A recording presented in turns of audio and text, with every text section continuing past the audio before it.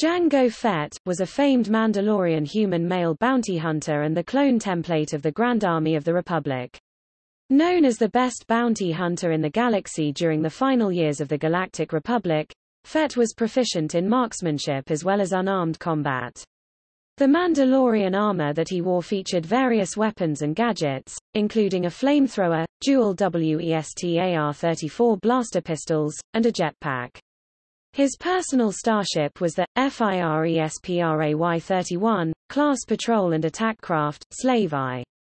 Hailing from the planet Concord Dawn, Fett was a foundling of the Mandalorians trained by a mentor, and, as a Mandalorian warrior, fought in the Mandalorian civil wars before becoming a bounty hunter. As a bounty hunter, Fett worked with and became acquainted with several fellow hunters and individuals in the criminal underworld including the Duros Cad Bane, whom Fett once mentored, Aura Singh, Zam Wesell, and the infamous pirate Hondo Ohnaka. In time, Fett became widely regarded as the galaxy's best bounty hunter, with a notoriety matched by few other bounty hunters. Shortly after the invasion of Naboo, the Sith Lord Darth Tyrannus hired Fett to serve as the genetic foundation of an army secretly bred on the extragalactic world of Kamino. His DNA spawned millions of clone troopers who shared his face, voice, and were trained to become soldiers. As part of his payment, Fett was given an unaltered clone whom he raised as his son, Boba Fett.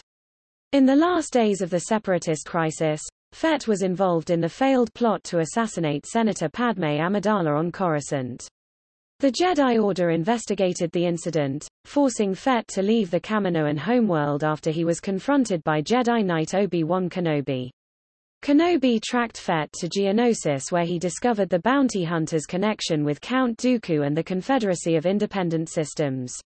Fett fought against the Jedi assault team during the First Battle of Geonosis, and was beheaded by Jedi Master Mace Windu in 22 BBY.